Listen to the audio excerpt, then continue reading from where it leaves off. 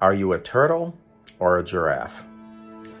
You know, I recently took my family on a vacation throughout Asia, and with every mile that we ascended in the plane, my perspective changed.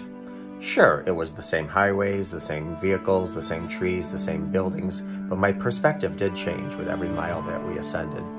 Until, however, we reached the clouds. When you go into the clouds, it's a scary place to be. You can't see what's behind you, you can't see what's on the side of you, and you can't see what's in front of you. It's a very fearful place. And this is what I feel a lot of people do when they discover an infidelity, when they find out of an affair or cheating, or even if they've been healing but they feel stuck. They're questioning everything behind them. They don't know who to trust on either side, and they certainly don't know what their future holds. They're in the blinding spot of a cloud. So we have two options. We can either do what we normally do and go to our comfort zone, our default, which is what's familiar, and we descend.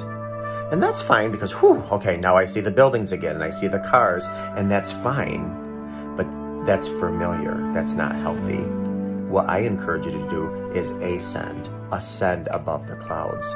For those of you who have flown before, the second you reach the summit of the clouds, above the clouds, there is a scene that is breathtaking. You see the sun, beautiful rays piercing through the, the clouds. You see a, uh, a, a beautiful scene and you feel peace and serenity and most important, clarity. And this is what I encourage you to do. I encourage you to tap into your higher self. Tap into your happy, healed self. Tap into the higher whatever it is you believe in. And it is then that you will get clarity because it is only when you have clarity you'll be able to make the best, healthiest decisions for how you want to move forward.